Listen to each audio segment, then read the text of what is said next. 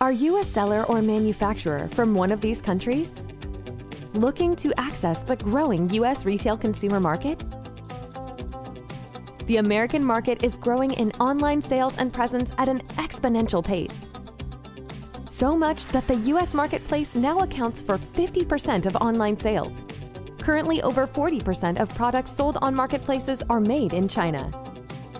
There is a high demand within the U.S. consumer market for products from other regions and hence growth potential for you. Markhor Live is an online marketplace that will give you access to this market. Log on to our website and apply as a seller to gain maximum benefits for your business.